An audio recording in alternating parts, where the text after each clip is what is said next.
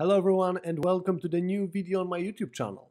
This time we're going to see how to make multi-threaded API calls using request module and Python futures module. So without further ado, let's get the ball rolling.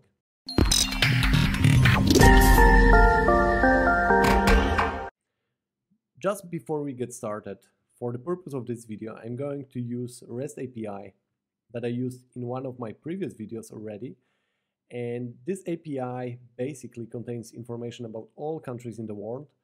As always, I'm going to put the link into the description below.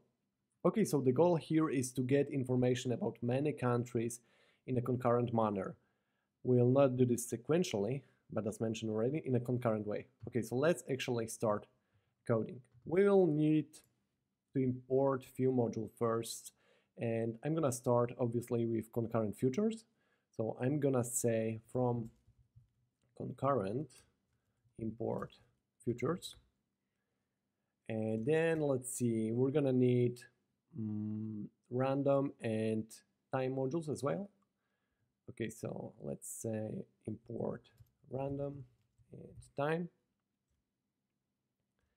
And since I have a list of my countries that we will query from this API in a CSV file, I will import pandas to read this data in to, an, to a Python object. Okay, so I'm going to say import pandas as, as PD, obviously. Okay, so we are good to go. Um, let's actually start with defining our base URL. So the link to the API that we'll query.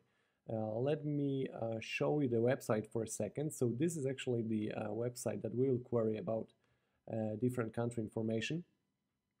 And on the left side here, you can see different API endpoints. And we will essentially call this name endpoint. So I have a list of countries, which we'll show you in a bit. And we'll query random countries from this list. And we'll do this in a concurrent manner. So um, you can see how we can speed up the process uh, of downloading different informations asynchronously. Okay, so let's get back to Visual Studio Code and I promise you to uh, show you this file. So let's list the catalog here and you can see we've got this country list .csv file. So let's actually cut this.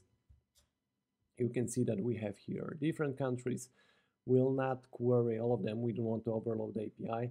Uh, let's say we'll query 30 of them.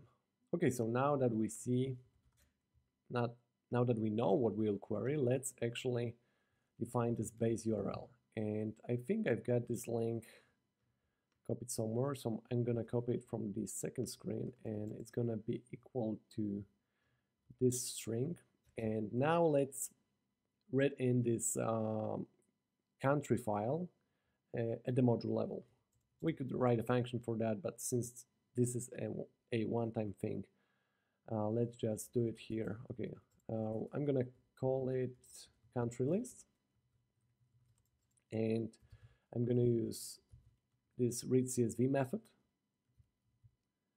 And what was the name? I forgot already of this file. Country list, obviously. Country list, we could copy that as well. Okay, let's now um, turn this, uh, since this is now a data frame object, pandas data frame object, I need to convert this to a list because later on when we when we will be querying this API in a concurrent manner, we'll provide a list of uh, country names as an argument. Okay, so we can easily do that uh, with pandas using this um, list method. So I'm gonna um, actually point to the uh, specific table here and this table is called name because if we were, let's go down to the terminal, if we were to take a look at at the first entry in this file, so this will be the header, so let's actually do that and let's see what comes. So this is the name, the header of our uh, column and on this object, we're gonna run this to list method. Okay, so now that we have it, let's as the last thing, let's take some random countries out of this list. Okay, so we can use this random module to do that. I'm gonna use random and sample uh, function. So I'm gonna pass in our country list and say we want 20 random countries. Okay, that should do. Let me minimize this a bit. So we've got more space. We don't need this explorer. Okay, let's continue.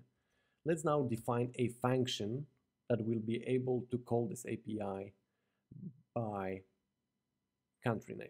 Okay, so I'm going to call it get country and it's going to take one parameter and it's going to be name of the country of type string and say that we're to return some strings. I'm to add type annotations to these functions. And now we have base URL, right? But for each country, we will have a different resource indicator. So we need to modify this URL. So I'm to say URL, and we can use these f strings uh, to do this. I'm to say base URL slash name because we are querying the name endpoint name endpoint portion of this API. And we are going to provide this placeholder for country as well. So I'm going to put here name. This way we will uniquely target each, each country. Okay, so we can wrap this piece of code in a try except block.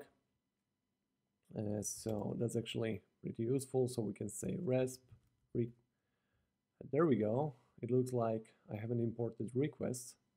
So I'm gonna do it down below here. And actually, this is the most important module of this uh, video, so let's not forget this. Requests get, we're to use the get method. And obviously, we're to pass our URL. So this will allow us to call the API and get the response from our server, from the server. And let's set timeout two seconds as well, since it's a good practice to set timeouts generally. Okay, so uh, let's say except exception as is. So we're to catch any exceptions that occur. And if the, if there are any, we're to return a string. So I'm to say failed for this country. So again, the placeholder due to this catched exception. So this will uh, store the exception catched code. Okay, so if we if the response is successful, if we don't get any timeouts, uh, we can what we'll do, we'll basically open a file, create a file on the disk and write the content of the response to that file. So we'll have each file for each country that we'll be querying. So I'm going to say with open and I'm going to provide uh, again the placeholder for our country and add the extension as well. And we're going to open it in write mode as f out f out and let's use write method and provide the string object of our response. And we can access this attribute attribute like this resp.txt text all right so it looks like we have it. And now just we defined here that we're going to uh, return a string. So let's do that. Let's actually return name. If we are successful, we'll simply return the name of the country. If not, we'll get this string indicating, indicating failures in our function. Okay, so now that we have uh, a function that will be responsible for querying API, we need to create a function that will allow us to make these concurrent requests. So let's call this get all countries. And as I said, it's gonna take uh, one parameter to, and let's call it country list. And it's gonna be of type string and what uh, of type list, obviously, and we're going to provide string objects. Uh, this list is going to store string objects, so the names of our countries. Okay, and let's say we're gonna return integer. So we'll count the number of countries that we will be querying and we will return the, the number of the last country. Okay, so now let's code a piece of code that will be responsible for making this concurrent request. So I'm going to say with futures thread pool executor, and we're going to use this class to create executor object. And now I'm going to define max workers argument. And this is basically a number of threads that will be run concurrently. So I'm going to define this to 5. And since we are using this context manager, I'm to define this as executor. And now actually, let's start the load operation. So already at this point, when I finish the next line, our code will be ready to make concurrent requests. So I'm to call it future to URL, and it's a common convention to do so. So um, we need to create uh, uh, how many, let's go back for a second and see, we took 20 countries, 20 random countries. So we need to create 20 futures objects.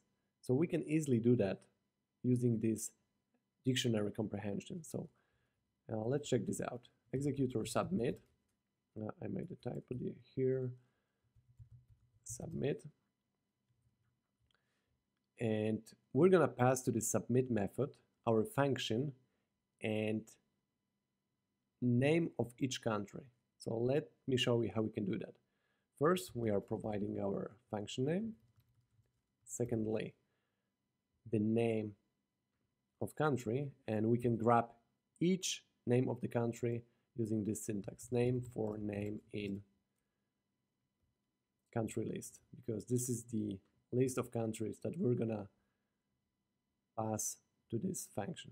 Okay, so already at this point, already at this point, this function will be able to make this concurrent request. So at the beginning, we will have five threads running, active, running, and once they are done, once we get the responses, in our case for these five countries, we'll get another five and another five and so on until we've reached the 20 number that we defined here. So we're gonna query 20 countries.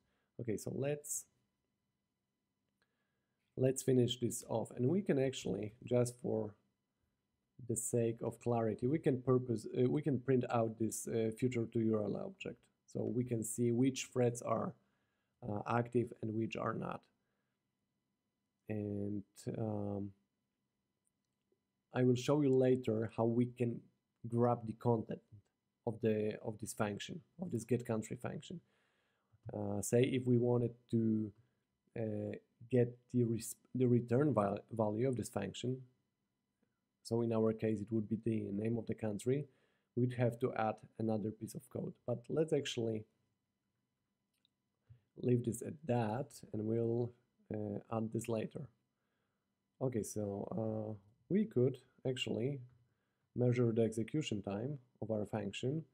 So um, I'm gonna say to time perf counter. So this will allow us to measure the uh, the time, and now we're gonna execute our functions. And remember, this takes in a list of countries. So we have it here at the module level, so we can pass this in directly.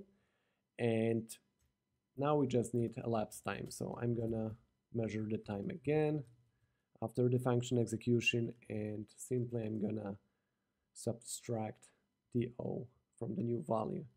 So we can add a print statement saying execution took and we can print this elapsed here like this seconds using f strings again. So it looks like we are covered here. So let's actually run this piece of code in our terminal. So I'm going to clear this and let's make sure that we have our script here.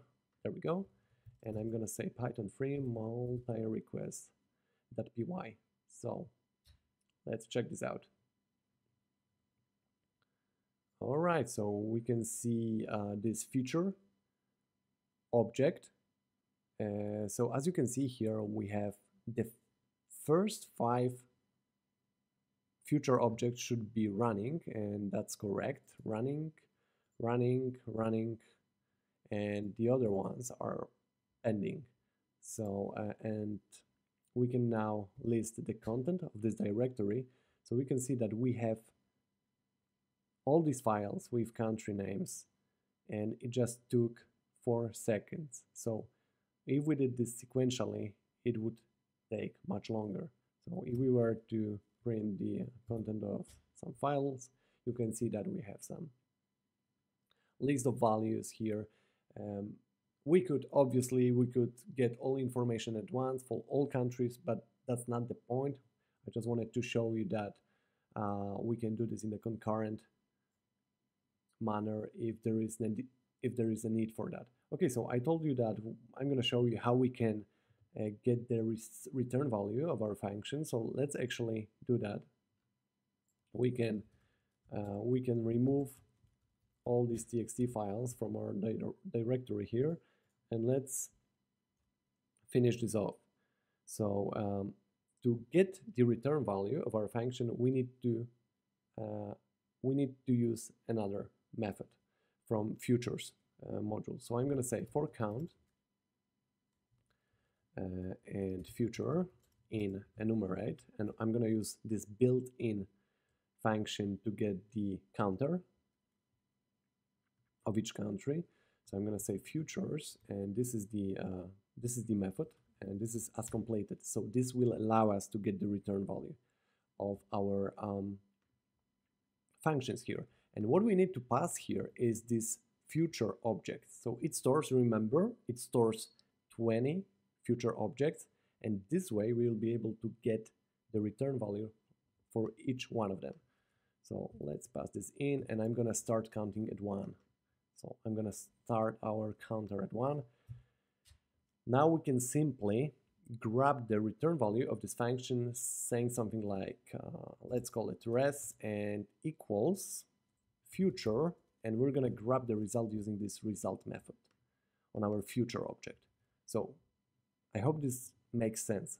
We are iterating over each future object, each completed future object, and we are using this result method on each future object to get the return value for our get country function. And now we can, let's say, we can print uh, the response. In addition to that, let's actually return the count value of our function. So I'm going to say return count and we should be good to go. So let's actually down go down here to the terminal. I'm going to make it a little bit bigger and I'm going to run our script again. So let's see what it gives us this time.